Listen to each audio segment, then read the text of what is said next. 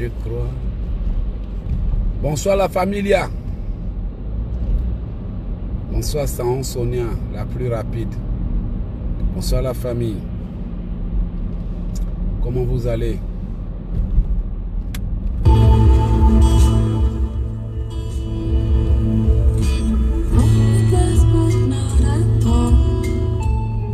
Comment vous allez?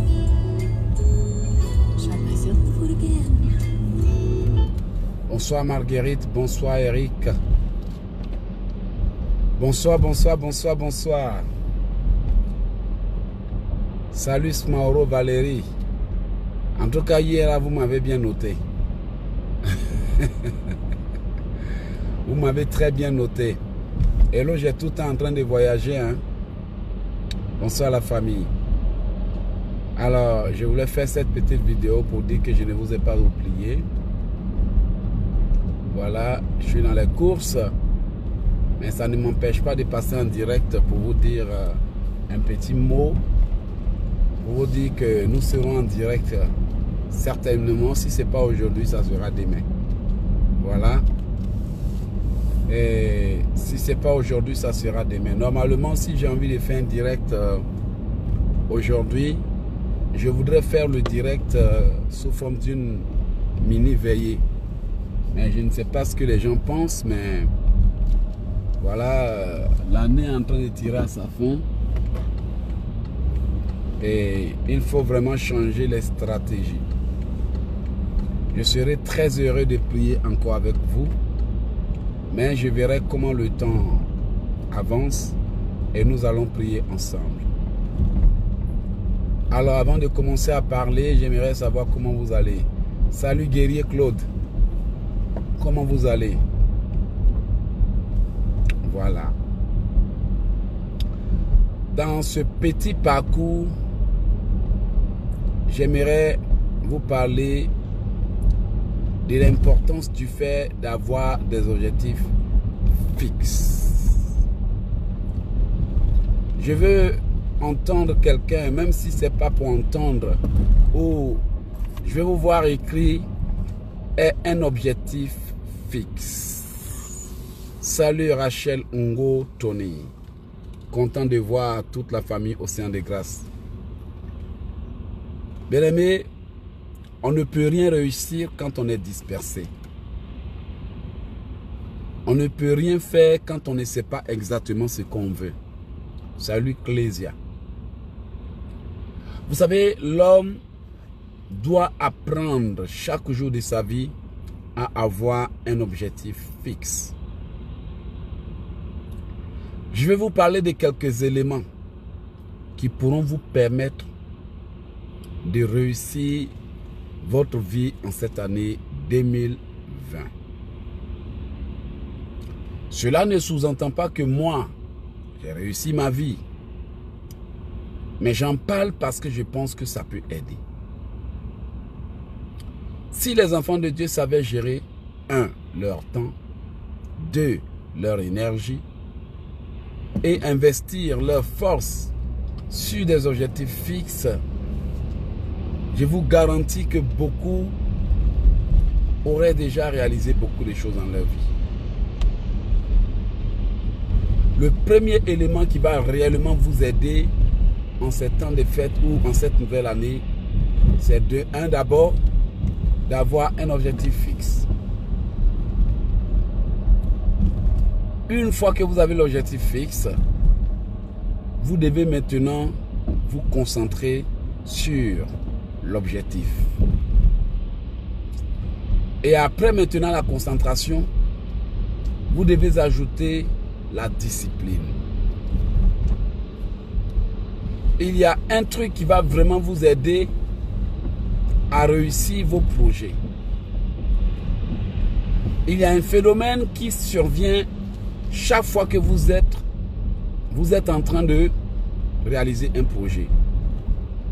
Il y aura un peu ce que je peux appeler le syndrome de la monotonie. L'esprit de l'homme n'aime pas faire la même chose pendant longtemps. Ça devient dégoûtant. Ça devient embêtant et même on s'ennuie.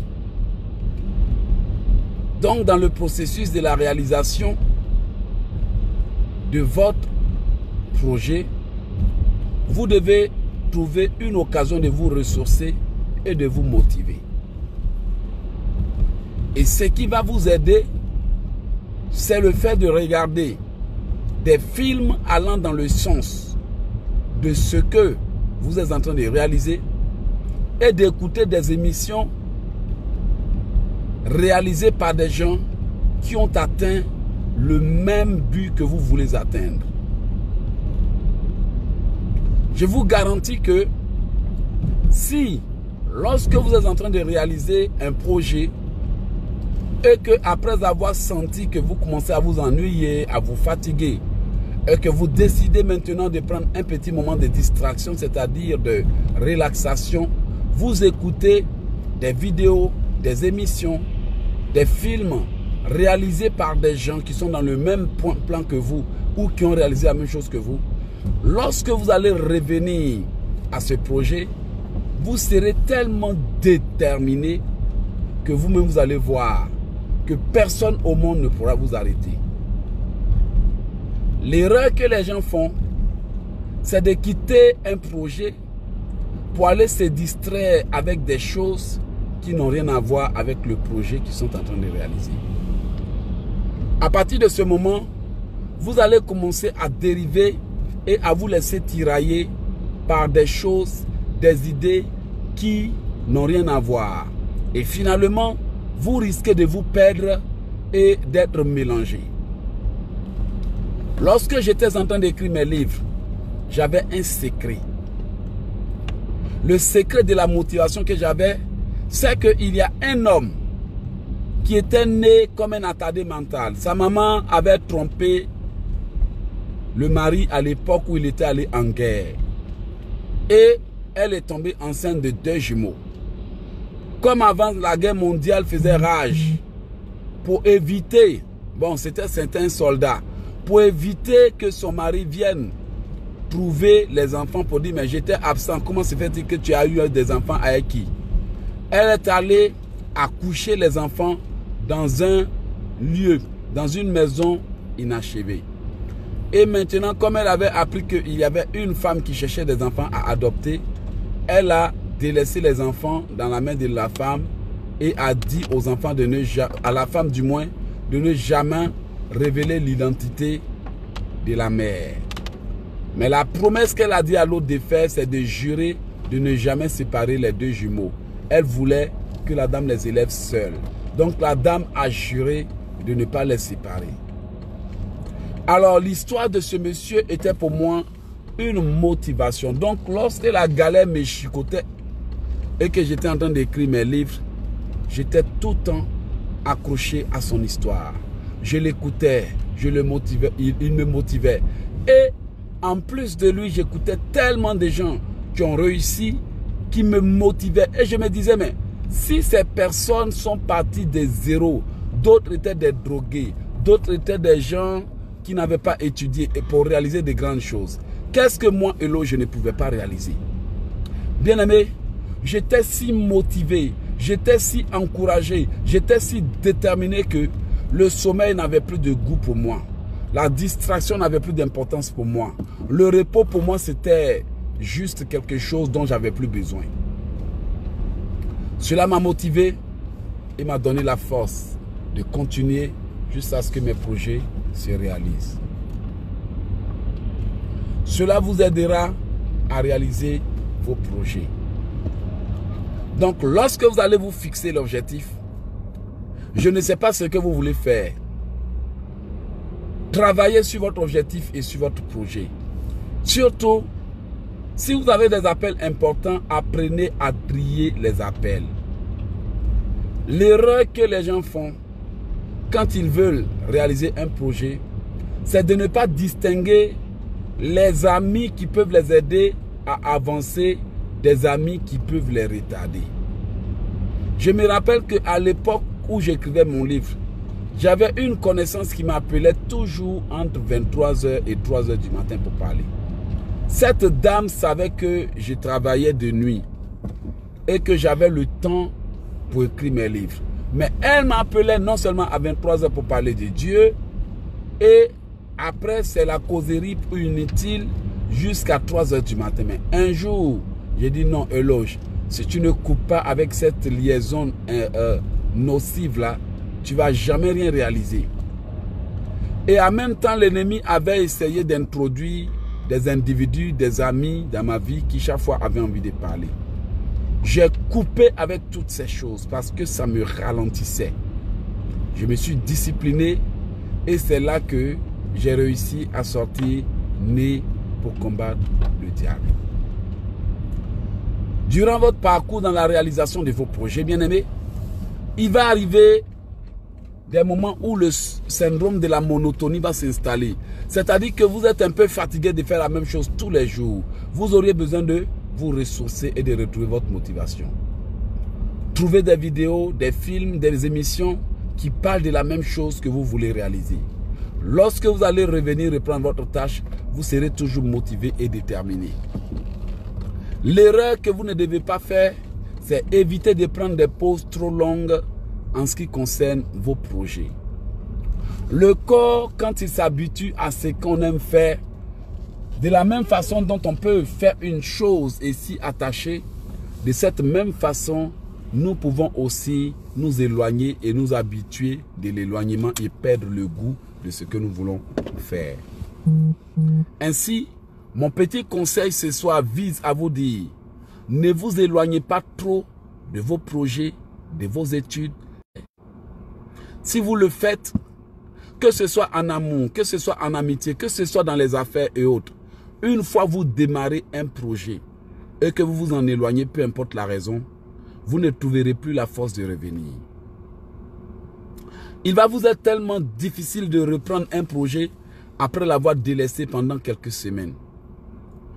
Il va vous être difficile de reprendre une lecture biblique après avoir passé un bon moment sans refaire la même chose. Le corps s'habitue et s'attache à ce à quoi on l'expose.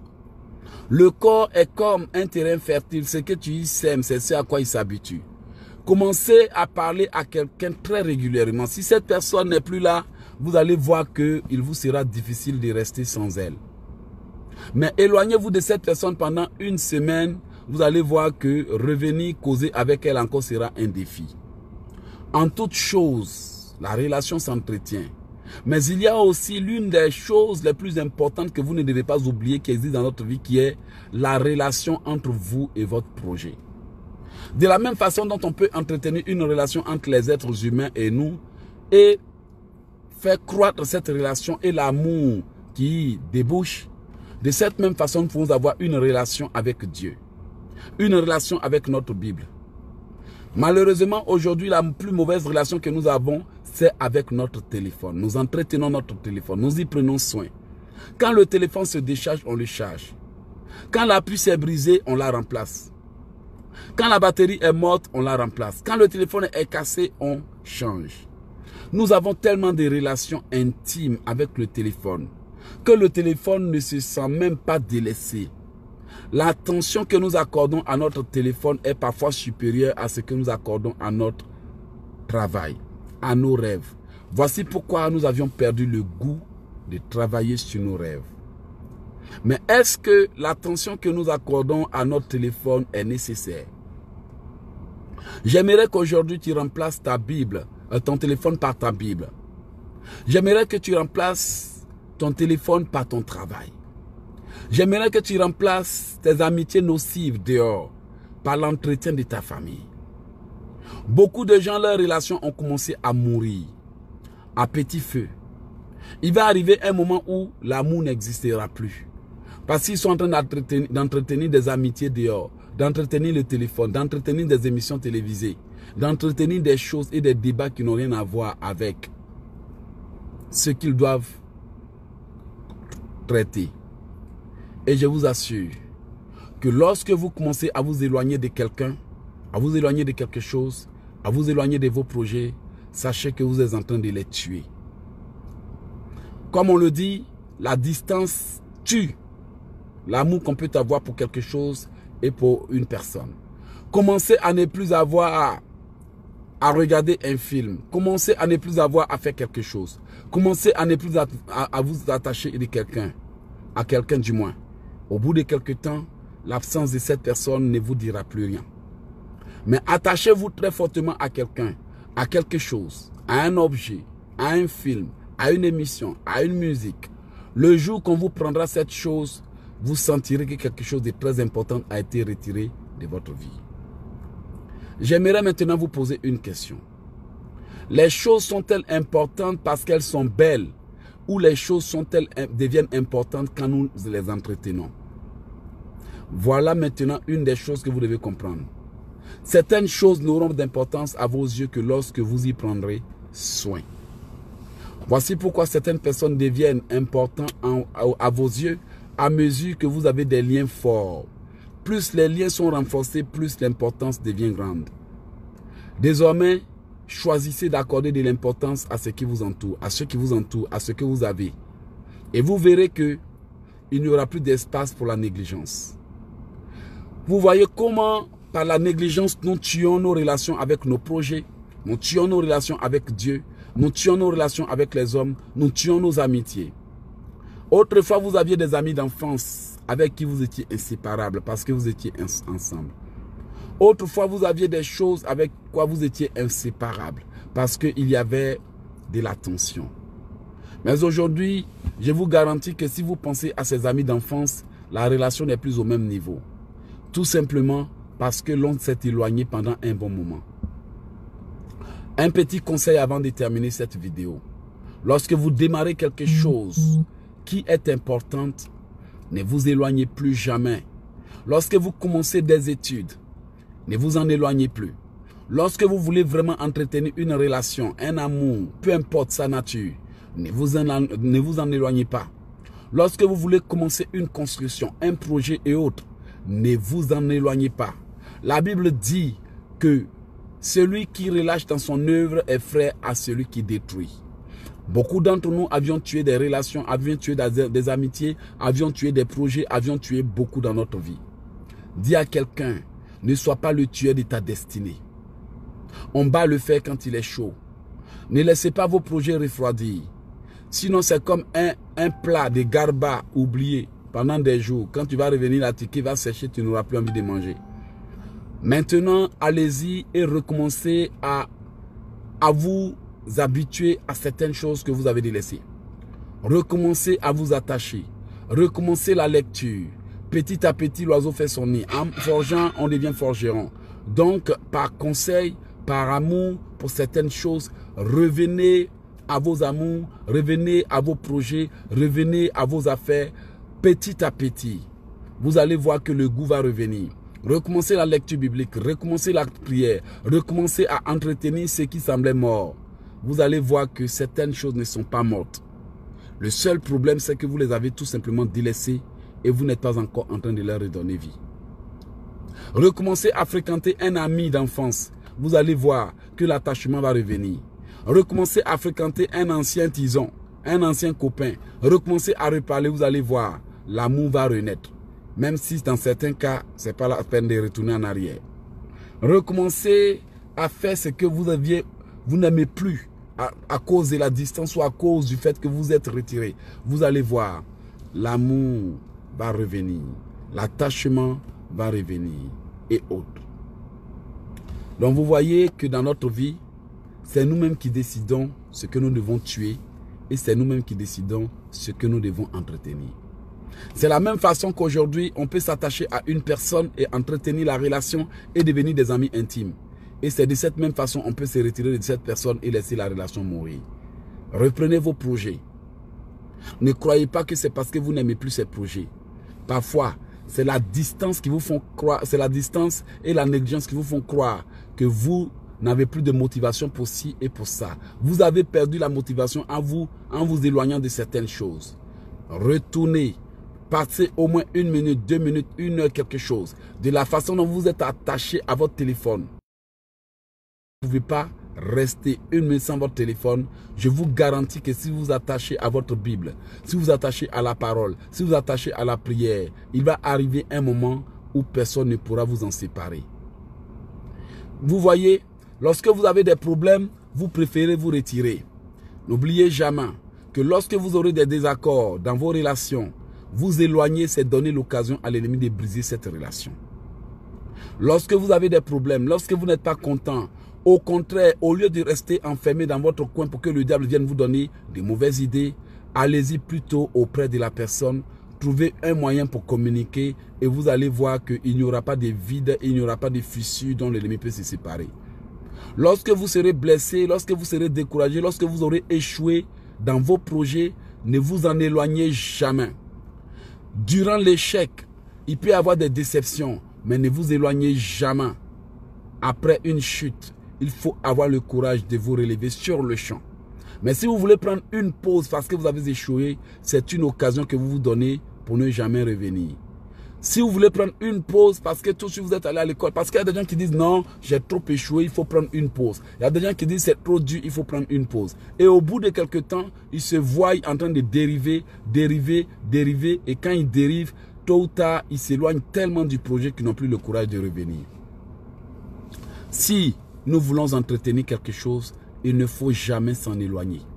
Si nous voulons entretenir une relation, il ne faut jamais s'en éloigner. Si nous voulons réaliser un projet et aimer ce qu'on fait, il ne faut jamais s'en éloigner. La Bible déclare que celui qui relâche dans son œuvre est frère à celui qui détruit. Parce que lorsque nous nous en éloignons, nous laissons des ouvertures et l'énergie qu'on doit donner à cette chose pour qu'elle vive n'y est plus. Bien aimé, personne ne peut dire qu'en cessant d'arroser une plante, elle grandira. Lorsque vous cessez d'arroser une plante, la plante n'a plus de nutriments, elle meurt. C'est ainsi pour nos relations, c'est ainsi pour le travail, c'est ainsi avec Dieu. Si vous vous éloignez de la prière, vous, deviendrez des vrais paresseux dans la prière. Si vous vous éloignez de la lecture biblique, vous perdrez le goût de lire la Bible. Voici pourquoi certaines personnes n'ont plus le courage de prier. Voici pourquoi certaines personnes ne lisent plus leur Bible. Parce qu'elles ont perdu l'habitude. Il y a des habitudes que nous devons perdre. Les mauvaises habitudes, nous devons les perdre. L'habitude de causer au téléphone pour rien. L'habitude de regarder des films inutiles. L'habitude de bavarder pour rien. À un moment donné, vous êtes tellement habitué à ça que quand vous appelez les gens, c'est pour bavarder.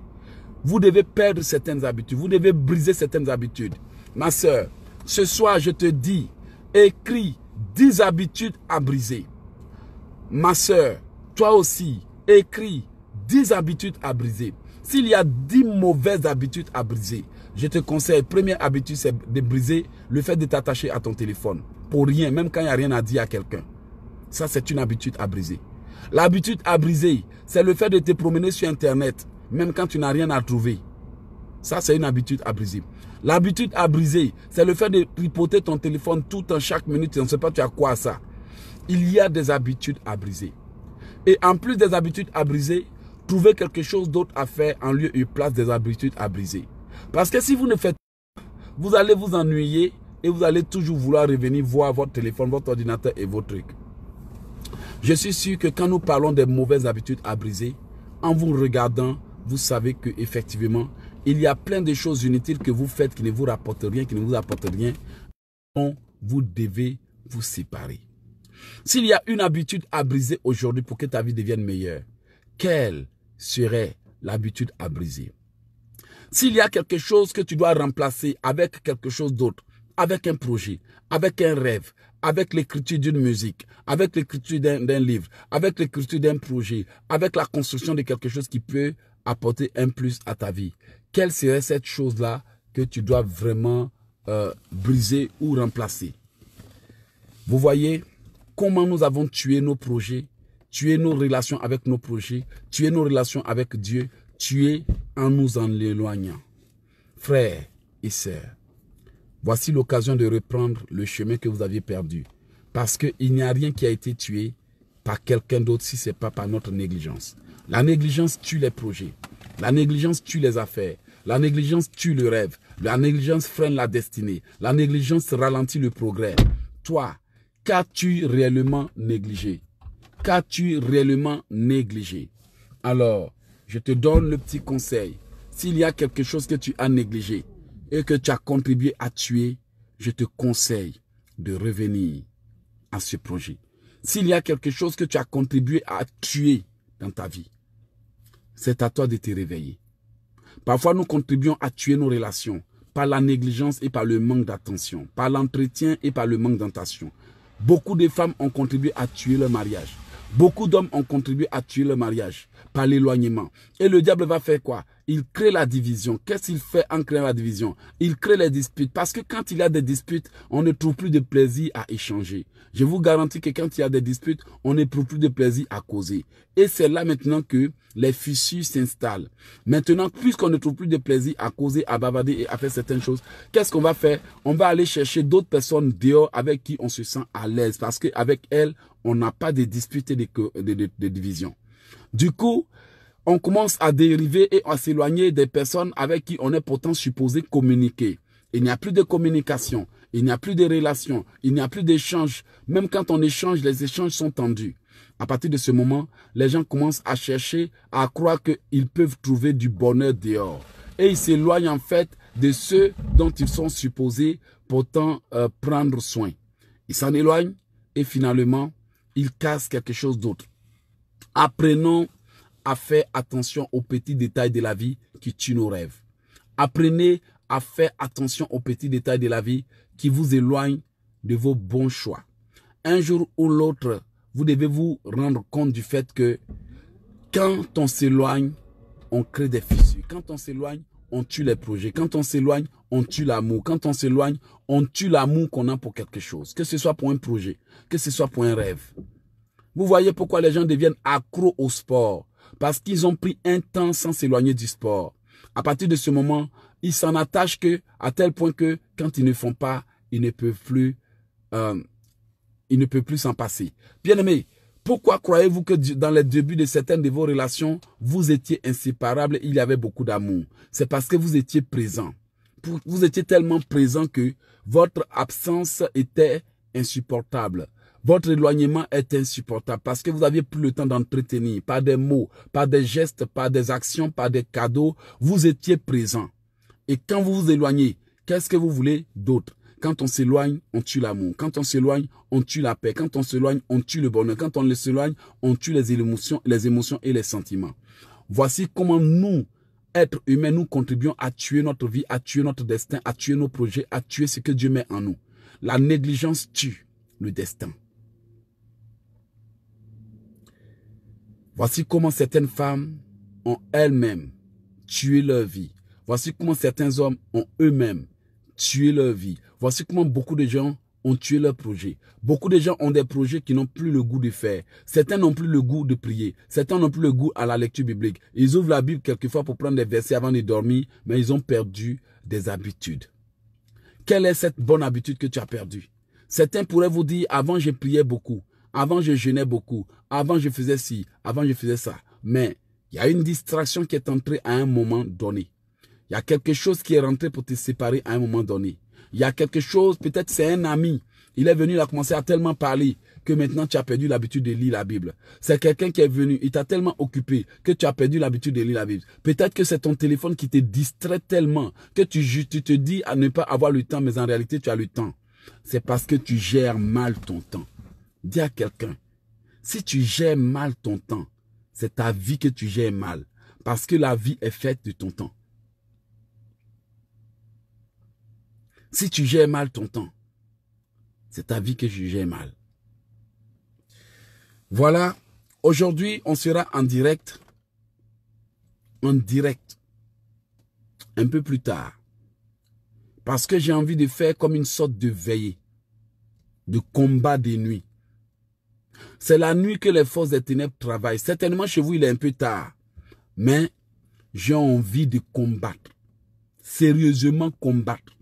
J'ai pas envie de jouer. C'est la fin de l'année. Les dormeurs n'ont qu'à dormir quand le programme va passer. Mais moi, j'ai envie de combattre. J'ai envie de combattre pour mes enfants. J'ai envie de combattre pour ma maison. J'ai envie de combattre pour ma destinée. J'ai envie de combattre pour, que mon destin s'accomplisse tel que Dieu le veut. En tout cas, c'est une invitation à rester debout pour faire fléchir tous genoux têtus, tous les sorciers têtus qui viennent la nuit là. Ils vont me trouver sur leur chemin. Ils vont pas venir me trouver en train de dormir. Dis à quelqu'un, cette nuit là, mon ennemi ne viendra pas me trouver en train de ronfler comme un paresseux. Dis à une femme, Mon ennemi ne viendra pas me trouver en train de ronfler. Même si elle doit aller ronfler, même si elle doit aller dormir. En tout cas, je vais régler les comptes avant d'aller dormir. Mon ennemi ne viendra pas me trouver en train de bailler et en train de baver. Trop, c'est trop. Reprenez les habitudes qui peuvent vous faire avancer. Mais abandonnez, mais je vous conseille d'abandonner les habitudes qui sont en train de vous tuer. D'ici quelques heures, je serai debout pour le combat. Peut-être qu'il sera 4 heures du matin chez vous. Je ne sais pas quelle heure il sera chez vous. Mais bien aimé, je refuse la médiocrité avec énergie. Je refuse la négligence avec l'énergie. Je refuse la paresse avec énergie. Vous savez pourquoi moi, Eloge ici? Je peux prier pendant 10 heures sans me fatiguer. Je me suis forgé à le faire. Je me suis préparé à le faire. Je me suis auto-entraîné à le faire. Parce que certains problèmes dans ma famille ont tellement duré que je me suis dit que si je ne suis pas plus tenace que mes ennemis, des ennemis entêtés, ils passent à gauche, tu passes à droite, ils passent à gauche. Ils passent à droite, ils passent à gauche. Tu passes en haut, ils sont en bas. Ils sont partout. Mais si dit ça là, si tu n'es pas plus dur que eux là, ils vont te détruire. Les chrétiens paresseux qui sont incapables de faire deux heures de programme, deux heures de prière là, j'ai pitié pour eux.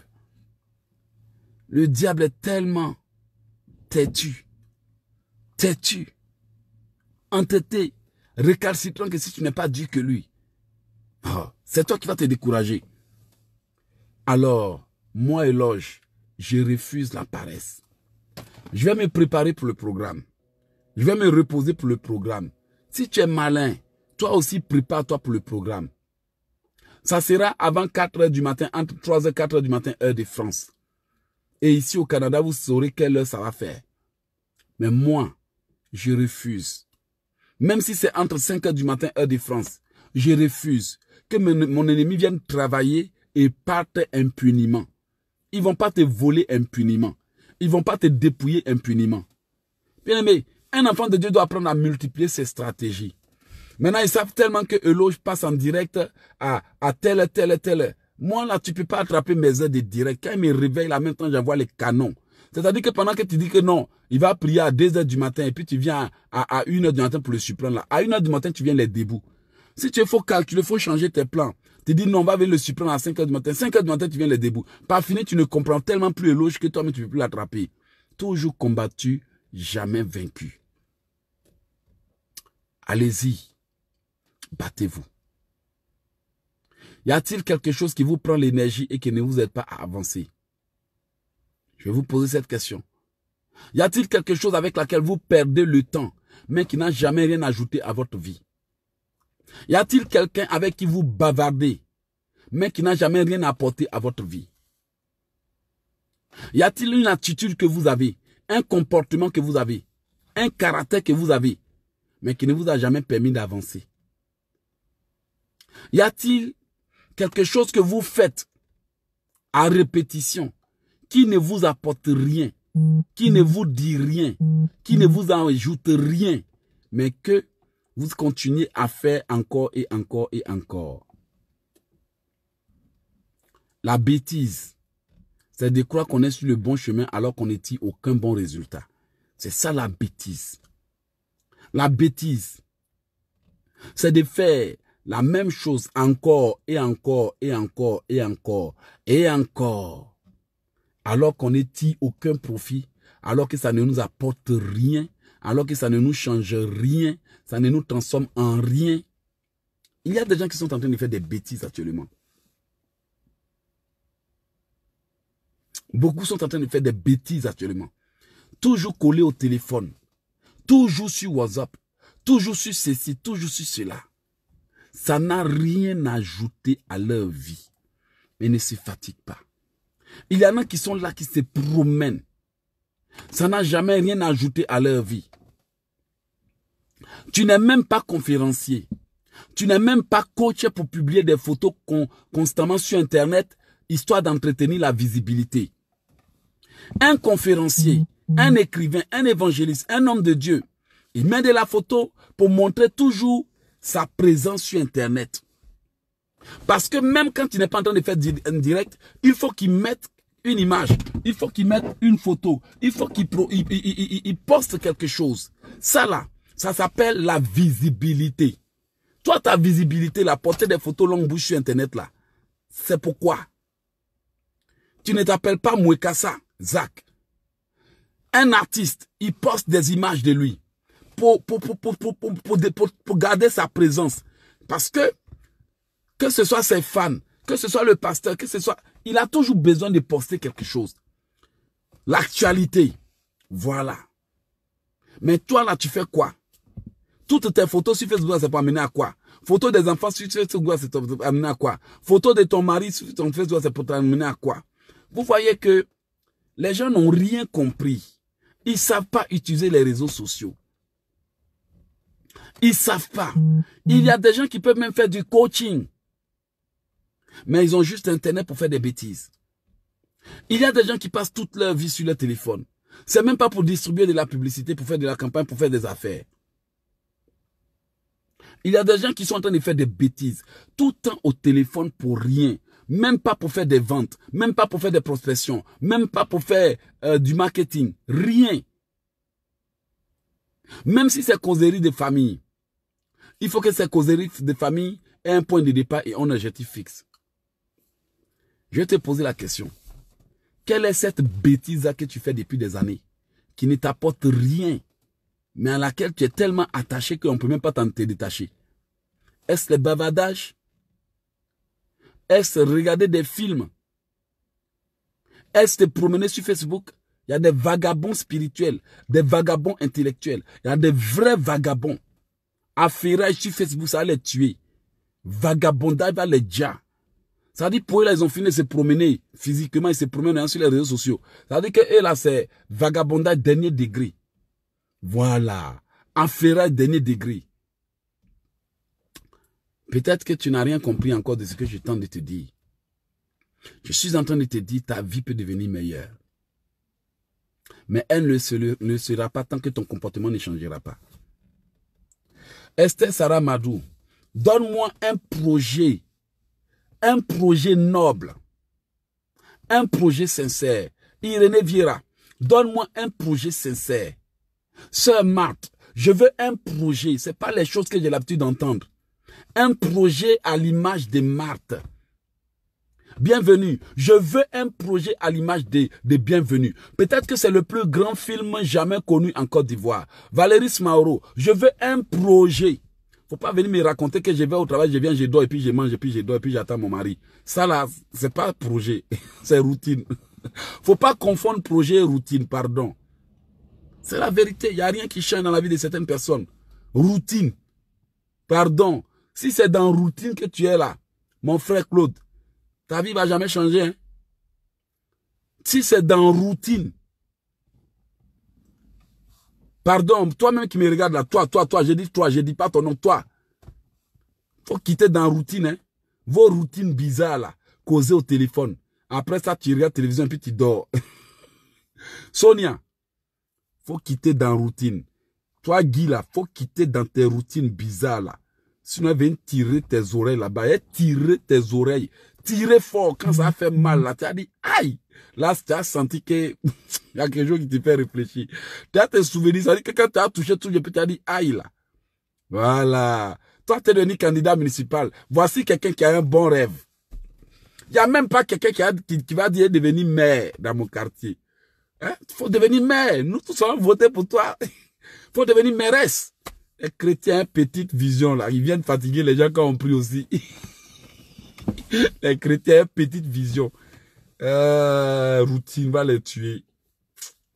Je vous assure, il y a des gens qui n'ont jamais rien changé depuis 20 ans. tu vas au travail, tu viens, tu regardes ta télé, puis tu dors. Ah, promador, il y a des promadors, il y a des travailleurs, il y a des filmadors. Les gens sont graves. C'est un bon projet, ça. Attends, toi, lumière, là, t'es en train de me faire quoi comme ça? La lumière, est jalouse ou quoi? Il y a quelqu'un qui a coupé la lumière. Il est jaloux de ma prédication. La, routine va te tuer. Routine va vous dire. C'est pas normal. Dix ans, il n'y a rien qui a changé. faut sortir de, ta de, tes routines bizarres là. Dis à quelqu'un, faut sortir de tes routines qui n'apportent pas l'argent là. Ça est routine. N'apporte pas l'argent mon frère, pardon. Ah, routine de pauvreté, routine de galère, routine de moisissure. Tu es devenu DG de banque. Alléluia, j'ai béni ce projet. Donnez-moi vos projets. Je veux vos projets. Je vais bénir ton projet. Donne-moi ton projet, je vais bénir. Il ne faut pas venir mentir aux gens ici. Maman Nyagbo, Maman Lydie Nyagbo, quel est ton projet de 2020 Toi, tu es dormi. Il y a un qui dit, il veut dormir. Ouh, Funky. Où est ton projet? Donnez-moi vos projets. Même les pasteurs, là, donnez-moi vos projets d'église. C'est pas aller chanter tous les dimanches les mêmes chansons. Mignako, Yao, Ya Jésus, tu es où? Je suis né pour te louer. Je suis né pour te louer. Toujours les mêmes chansons bizarres là. Même pas de projets d'écriture de nouvelles chansons. Même pas pour dire on va engager des gens qui vont composer des chansons. Tu veux avoir ta propre marque. C'est bon ça. J'ai béni ce projet. Toi, tu veux faire la musique. En tout cas, va faire entraînement des voix. Salut. Tu créatrice de vêtements, pardon. Tu es devenu créatrice de vêtements là, on ne veut pas te voir dans le magasin d'habits deuxième main, hein, pardon. Toi, tu veux faire quoi? Non, on n'a pas dit sortons de la route. Faut pas confondre route et puis routine. J'ai pas dit, j'ai pas dit la route. si tu sors de la route, là, tu vas te perdre, pardon. non, on dit routine. Routine. Les habitudes qu'on répète tous les jours, là. Vous voyez, non, c'est pas route. Bon, toi, tu veux quoi? Immeuble. Immeuble de quatre étages. Il faut commencer à cotiser, hein. Tu veux travailler à ton propre compte. Bon, ton travail là, c'est quoi? Parce qu'il y a des gens qui travaillent à leur propre compte, ils regardent Internet tous les jours. ils travaillent à leur propre compte sur Facebook. Ils travaillent à leur propre compte sur Instagram c'est Pinterest, c'est WhatsApp. Tu veux ouvrir un magasin, magasin de quoi? Magasin d'adjuvant. Vous voyez combien vous pouvez sortir de certaines choses. Ah, faut pas, ils vont toucher à ton découvert sur, sur banque. Toi, tu aimes, ta routine, c'est découvert bancaire. Vraiment que Dieu te délivre. Toi, tu veux faire orphelinat. En tout cas, ça, c'est un projet noble, ok? Un, un orphelinat, ok, c'est bon. Si c'est pour aider les orphelins, que Dieu te bénisse. Mais si c'est pour que les orphelins t'aident, ça, c'est dangereux.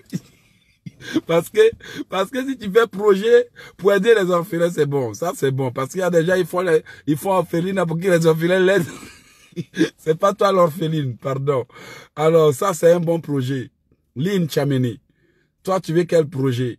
Construire maison au village. Donc toi, là, tu vas, tu es foutu.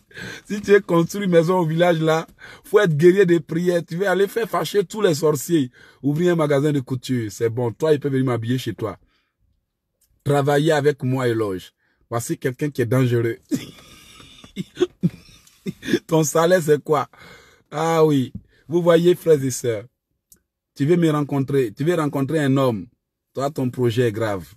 Il y a plein d'hommes qui chôment ici. Faut, faut m'appeler. J'ai un frère là. J'ai un fils qui m'a dit, il veut une femme. Belle femme gentille. Pardon, c'est pas n'importe quoi. J'ai un fils spirituel très gentil. Très travailleur. Il dit, il veut femme. Envoyez vos candidatures. Je vais vous faire prier, vous donner 10 jours de jeûne d'abord. On va voir qui est qui. Faut pas venir gâter à faire des gens ici. Ouvrir ta boutique de vente de pièces détachées. Pardon, faut pas, pièces détachées à sa carte originale. faut pas les gens vont commencer à faire une voiture dans ton quartier. Pardon, fais attention. En tout cas, pièces détachées originales. d'accord. En tout cas, vous voyez, vous avez tous des rêves. Et je souhaite que vous les réalisez. J'ai un livre qu'on appelle euh, Comment réaliser vos rêves en moins de six mois. Frères et sœurs, vous pouvez réaliser vos rêves en moins de six mois. Vous pouvez réaliser. Dans la vie, il y a ceux qui vont vite et ceux qui vont moins vite, selon la priorité qu'ils accordent à certaines choses. Dieu peut bénir tous vos projets. D'ailleurs, il n'y a aucun projet qui ne soit béni. Vous êtes tous bénis. Votre problème, c'est que vous négligez vos projets. Tous ces projets sont importants. Mais je suis sûr que si vous y travaillez une heure par jour, au bout de six mois, vous serez très loin.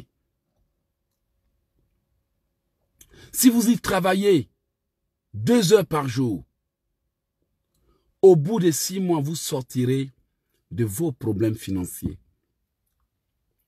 Le problème des enfants de Dieu aujourd'hui, c'est qu'ils savent parler en langue, ils savent prier et autres.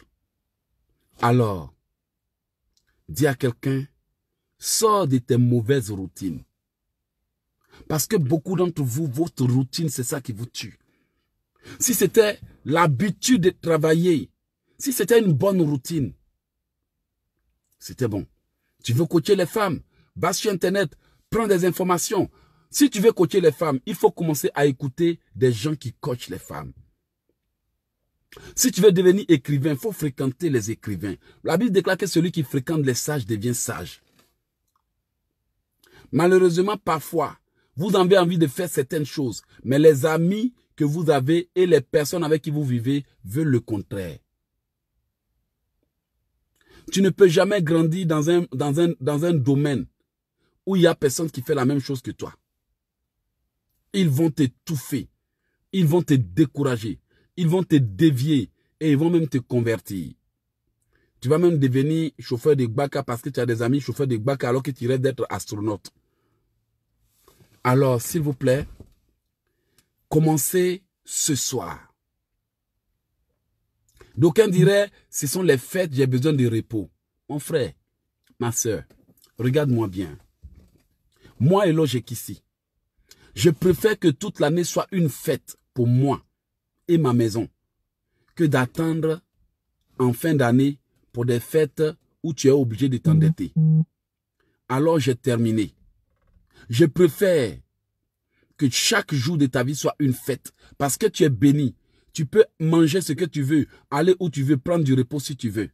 Je préfère ça. Et ça, ça demande un sacrifice maintenant nous allons faire une violente prière. Cette prière aura lieu entre 2h et 3h du matin, heure de France. L'année est avancée. Alors, ne ratez pas cette prière. Ne la ratez pas. Venez et battez-vous pour votre vie. Vraiment que Dieu vous bénisse. Vous avez tous des dons.